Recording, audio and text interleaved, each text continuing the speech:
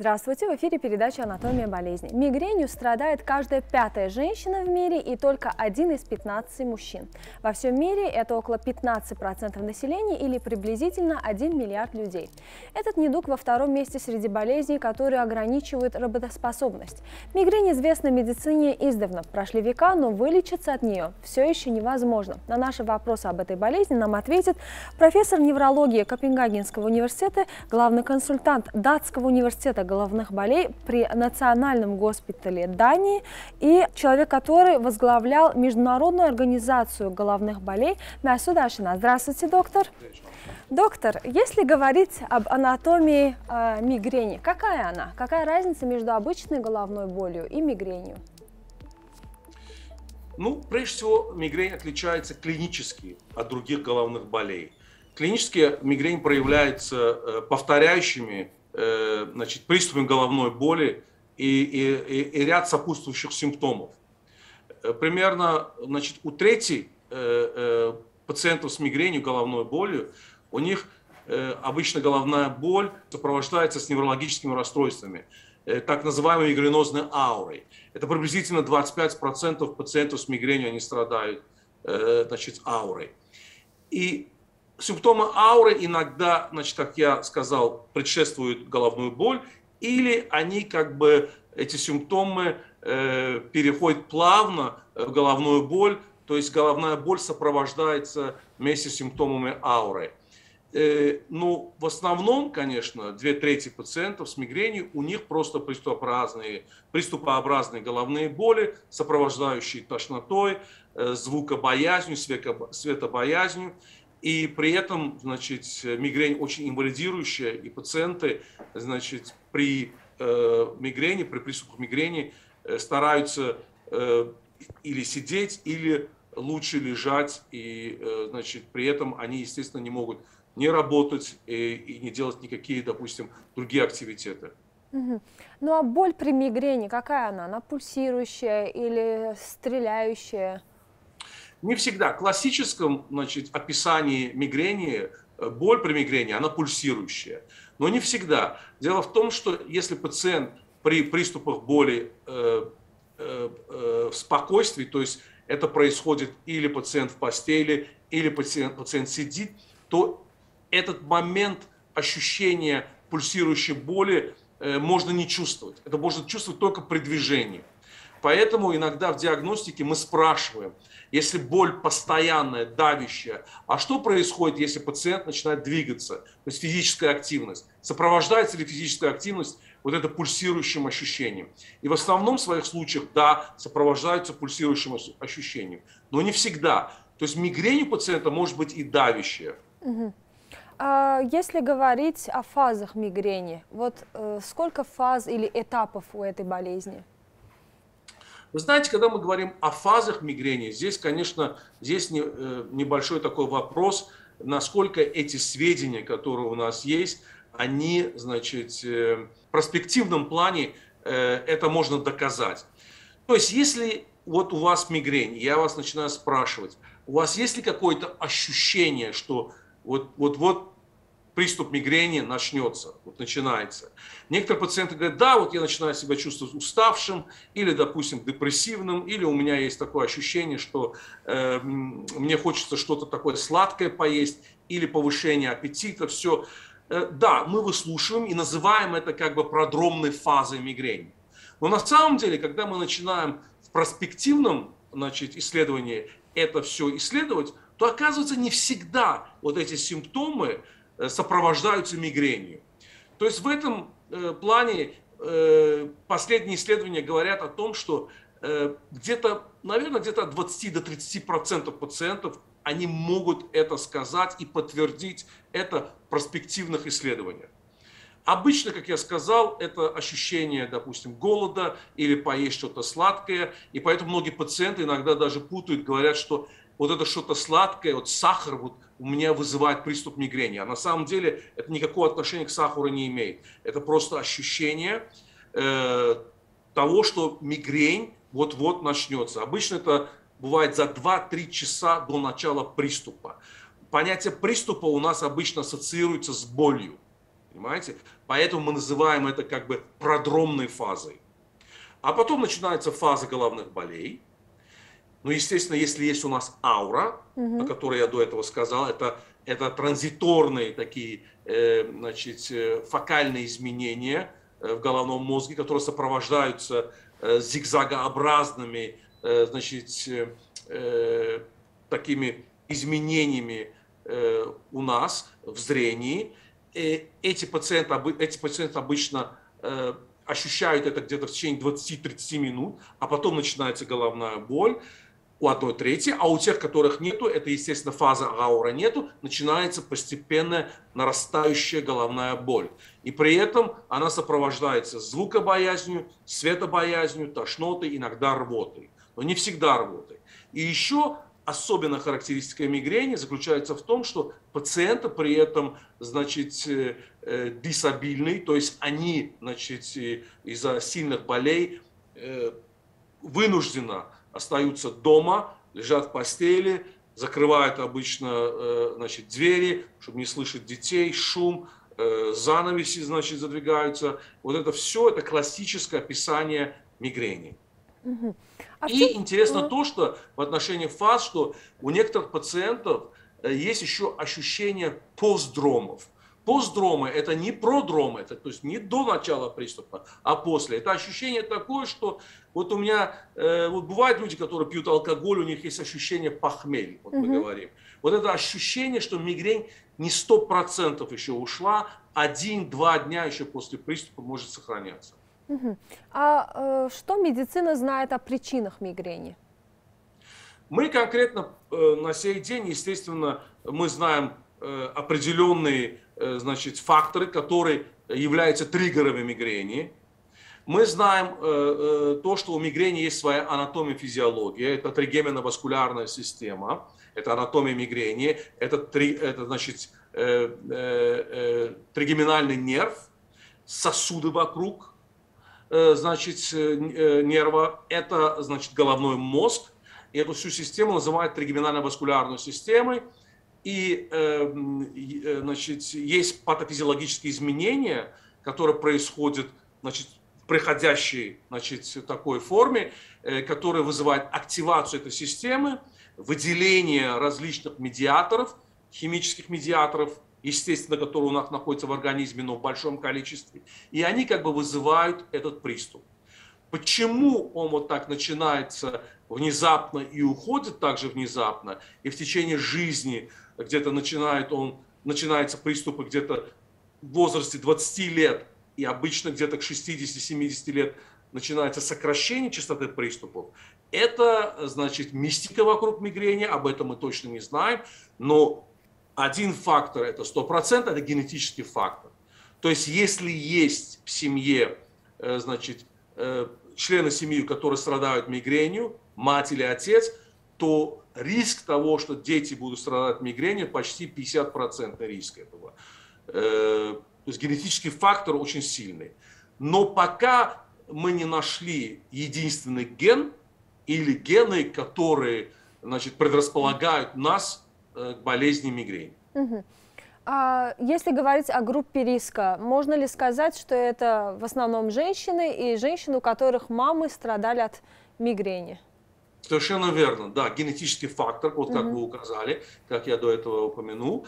И, естественно, э, возраст тоже обычно у женщин, у девочек это начинается в период пубертента, в этот период э, переходного возраста у мальчиков начинается чуть-чуть раньше. И что интересно, обычно у мальчиков где-то к э, переходному возрасту идет снижение частоты приступов, и у некоторых это обратно возвращается после 20 лет и сохраняется на всю жизнь. Но у женщин в основном это как бы начинается э, период э, значит, переходного возраста, и до кульминации где-то 20-30 лет. Угу. В самом продуктивном возрасте, когда нужно работать, создавать семью, все, к сожалению, вот тогда мигрень поражает значит, в большом количестве женщин. Почти 25% женской популяции. Но э, вы заметили, что, наверное, да, что ваши пациентки некоторые, э, которые приходят с мамами, которые говорят, что вот у моей мамы тоже была мигрень, но она у нее прошла после 50, после 45. С чем это связано?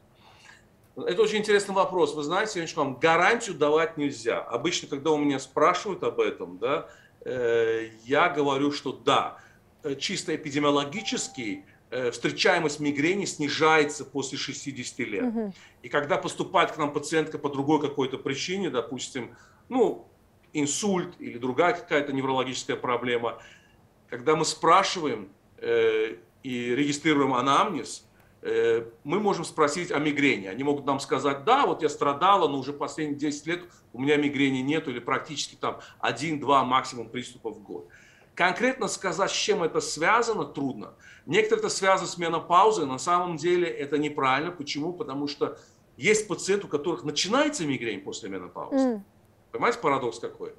И поэтому э, гарантий нет. Вот была у меня такая пациентка, просто пример вам привожу, э, которая ну, очень долго у меня, значит, была под наблюдением, лечилась, все.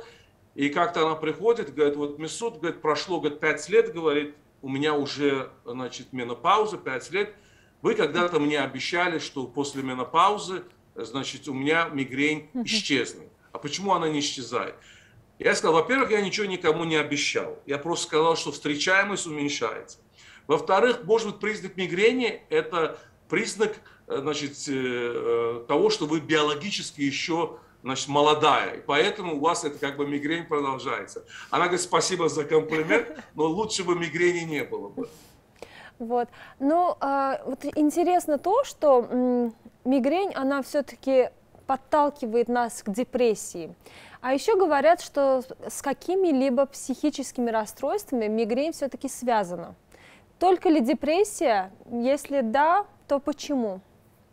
Дело в том, что ассоциация какой-либо болезни, пусть это будет мигрень или другая болезнь, с депрессивными состояниями или состояниями страха, это не означает, что есть э, значит, причинная взаимосвязь. То есть, допустим, депрессия вызывает мигрень. Это довольно устаревшее понятие, что депрессия вызывает мигрень. Почему? Потому что э, это вызывает, это даже создает какую-то стигму вокруг мигрени. Никакого отношения к этому нету. Я ни разу в своей жизни еще не видел пациента, у которого, допустим, очень частая мигрень и одновременно депрессия. Угу. Я посылаю пациента, значит, реферирую к психиатру. Психиатр, значит, отвечает, что да, есть депрессия, лечит депрессию, пациент возвращается обратно, мигрень такая же частая. Угу. То, есть, э, то есть лечить эффективно депрессию, это не означает, что мигрень исчезнет. Здесь никакой связи нет. Но одновременно мы видим пациенту, у которого есть депрессивные симптомы, но при эффективном лечении, то есть профилактике мигрени, мы наблюдаем очень такое заметное улучшение качества жизни, включительно симптомы, так называемые депрессивные симптомы, они или исчезают, или сокращаются до минимума. Понимаете? Поэтому э, здесь очень такая связь э, э, щепетильная, то есть в профессиональном плане очень важно э, мне сказать, что здесь прямой связи нету, но есть такая непосредственная связь. Естественно, если у вас приступы каждый, там, не знаю, 2-3 дня в неделю, э, как вы будете себя чувствовать? Естественно, вы будете себя чувствовать депрессивно. Но если я буду лечить вашу мигрень эффективно, естественно, эти симптомы исчезнут или сократятся до минимума. Угу. А, о лечении мы поговорим, но м, насчет диагностики. Я уверена, что а, из-за того, что очень много поисковых а, моментов в интернете, мы можем все вбить в поисковик и узнать очень много информации. Я уверена, что есть люди, которые приходят и говорят, доктор, у меня мигрень без диагностики, вылечите меня, пожалуйста. Как правильно диагностировать мигрень без гугла? Без гугла, да. Правильно диагностировать мигрень, опять-таки, возьмем так. Естественно, со стороны пациентов это будет доктор Google, да, то есть да. они сразу обращаются к Google и начинают смотреть. И есть разная литература по этому поводу, есть разные видеоматериалы, все. Я могу только так сказать. То есть любая головная боль, которая сопровождается, э, значит, повторяющимся э, очень стереотипными приступами, стереотипными, то есть они похожи друг на друга, mm-hmm. и, и при этом, значит, сопровождаются инвалидностью, когда хочется лежать, когда не хочется сидеть или что-то делать, и при этом сопровождается светобоязнью, звукобоязнью, то здесь не надо быть Эйнштейном, можно сразу поставить диагноз, значит, мигрень. А, значит, мы, врачи, оперируем, естественно, классификацией и критериями. Да. Есть международная классификация головных болей, и по этой классификации, значит, любые приступы, которые сопровождаются головной болью от 4 до 72 часов, обратите внимание, 4 как минимум до 72, которые, это, это означает то, приступы, которые или эффективно не могли быть купированы, или продолжающиеся, да, то есть эти приступы без лечения или неадекватного ответа на лечение продолжается от 4 до 72 часов. Эти приступы э, э, сопровождаются сильной э, головной болью, и при этом они, головная боль ухудшается при, физическом, значит, при физической активности и сопровождается светобоязнью, звукобоязнью или тошнотой, то это уже почти 99% диагноза мигрени угу. стереотипно. А еще вы можете к этому добавить один вопрос пациенту. Просто, когда он у вас началась, ага. как часто, и если в семье, значит, члены семьи, у которых есть, значит, мигрень или просто головная боль. Просто они не знают, да, что это мигрень. И при этом уже как бы диагноз закреплен. Естественно, мы делаем неврологическое обследование, при этом мы показываем, что нет никаких отклонений, ставим диагноз мигрень. И следующий вопрос уже лечение. Угу. А вот э, когда я читала про лечение э, тоже в Гугле, э, я наткнулась на то, что издавна лечили мигрень колдовством, трепанацией и так далее. Но это все ужасно, конечно. Сейчас я так понимаю, что есть более а, человеческие методы. Какие они? Вы знаете, у нас в области мигрени очень серьезный прогресс. То есть я помню, когда я начинал в начале 90-х, Э, только-только вышли препараты, которые были э, значит, э, значит, внедрены в лечение мигрени на основании очень долгих лет исследований. Эти были препараты специфичны для того, чтобы купировать приступы. То есть во время приступа вы применяете препараты. Группа этих препаратов называется триптаны – да? Вот в этом семействе триптанов есть 7 разных триптанов. Ну, они отличаются чуть-чуть немножечко друг от друга, но в целом эффект один, то есть это купирование приступа мигрени, и приблизительно можно так сказать, где-то значит, от 30 до 40 процентов случаев в среднем у пациентов через 2 часа она практически исчезает или уменьшается. То есть они очень эффективны. Ну, конечно, работают не на всех. Эти препараты они были исследованы и внедрены как специфичные для мигрени. То есть они не действуют на другие типы боли. Это первое. Второе. У нас, естественно, долгое время мы употребляли разные препараты, которые э, были показаны ну, в исследованиях, в доказательной медицине, что они эффективны в профилактике мигрени. В чем заключается профилактика мигрени? Это не излечение от мигрени, а сокращение частоты приступов – сокращение значит, тяжести приступа и длительности приступа. То есть как бы эти три параметра являются индикаторами, на которых мы ориентируемся, когда мы говорим о профилактическом лечении мигрени. Мы использовали разные препараты в этом контексте. Это были противо, э, значит, эпилептические препараты, это были препараты, которые применяются при повышенном давлении, артериальной гипертензии – как мы обнаружили, что они эффективны, это было совершенно случайно. Пациенты, у которых были на самом деле проблемы с давлением или с эпилепсией, они просто указывали, что почему-то у них мигрень сократилась. Угу. И были сделаны исследования вслепую у тех, у которых нет гипертензии, нет эпилепсии, и при этом показали, что эти препараты работают. Ну, естественно, они не были разработаны или внедрены как специфичные для мигрени. И у пациентов всегда задавали вопрос, а почему я должен принимать этот препарат, который применяется против эпилепсии или против да. давления, повышенного давления. Мы, естественно, объясняли это все и назначали эти препараты. Да, они сокращали частоту приступов, сокращали тяжесть приступов, длительность приступов. Где-то работали 50-60% случаев. Довольно неплохо. Но была одна проблема. Проблема, насколько эти препараты эффективны при длительном лечении угу. и насколько пациенты могут воспринимать побочные действия, связанные с этим препаратом. Так вот, очень много лет мы занимались исследованиями. Эти исследования показали, что есть определенные молекулы, одна особенно, которые играют очень важную роль в патофизиологии мигрени.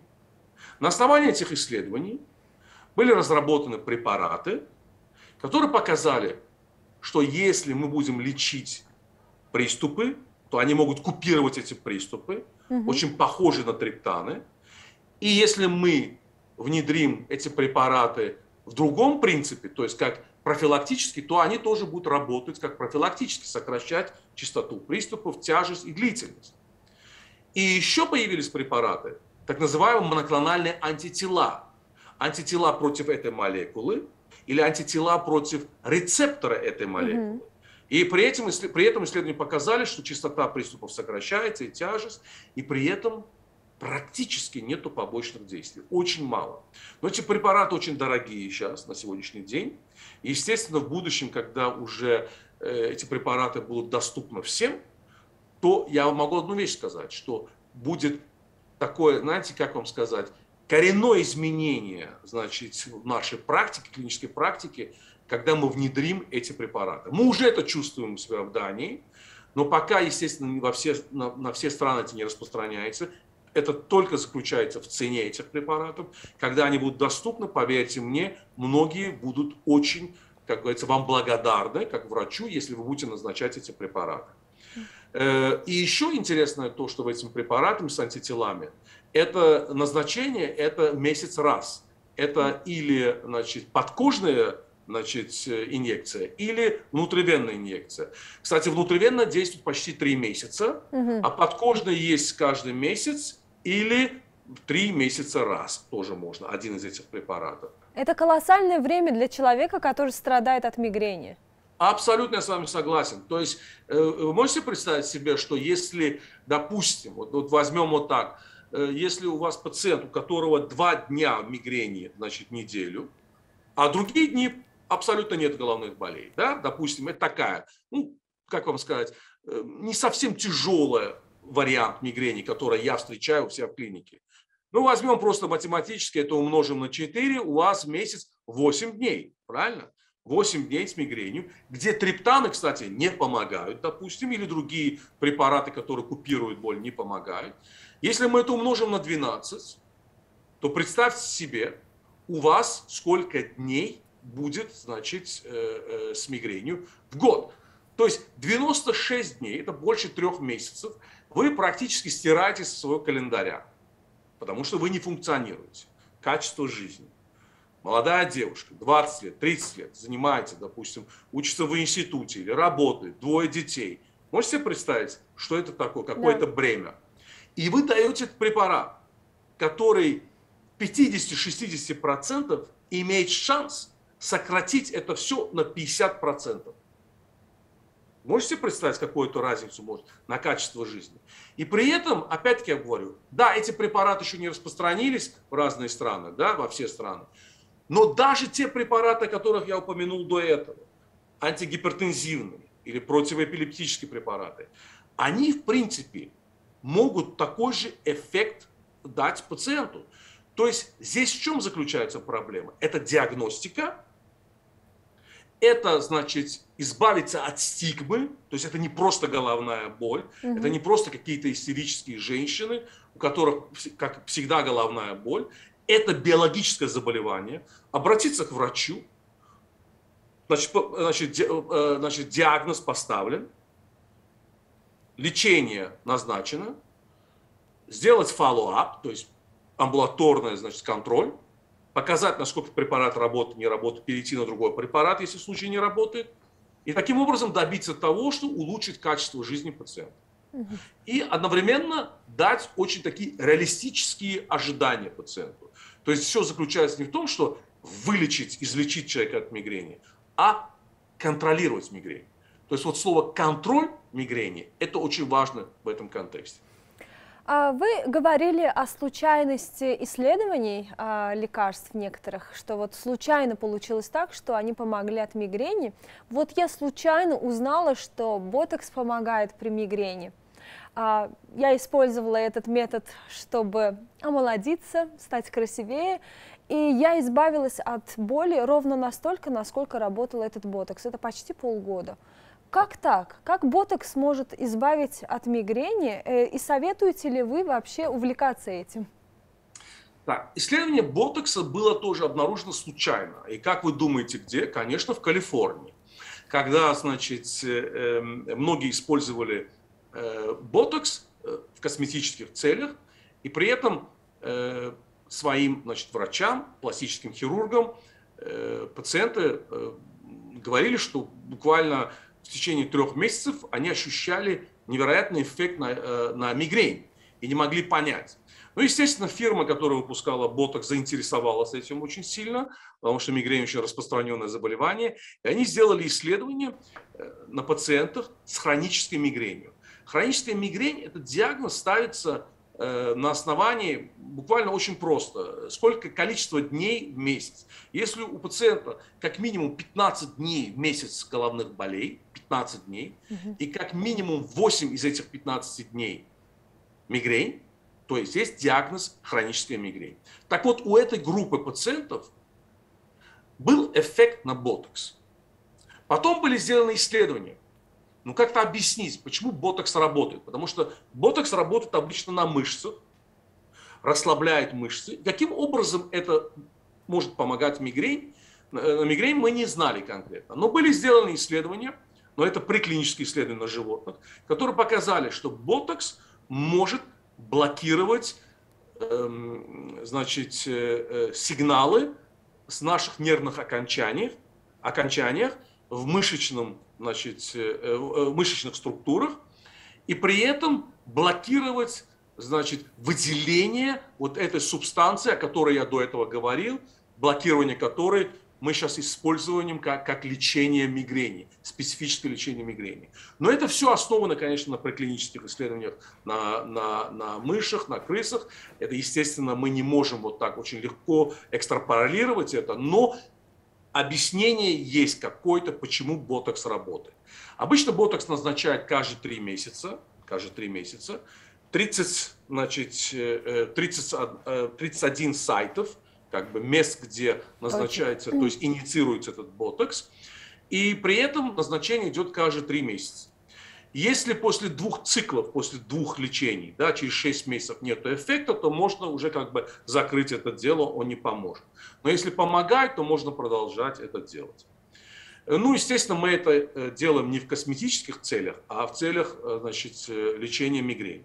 Но сейчас вот эти, то, что новые препараты э, сейчас уже были внедрены в нашу практику, естественно, количество пациентов ботоксом уже чуть-чуть уменьшается. Но, кстати, у меня есть группа пациентов, которые попробовали новые эти препараты, и они почувствовали, что эффект был не тот. То есть эффект ботокса был лучше, и они обратно вернулись в ботокс. Угу. И есть наоборот, те, которые пробовали до этого ботокс, ощущали какой-то эффект, но когда я назначил новые препараты, они сказали, мне ботокс уже не нужен. Почему? Потому что эти препараты намного лучше ботокса. Спасибо, что уделили нам время.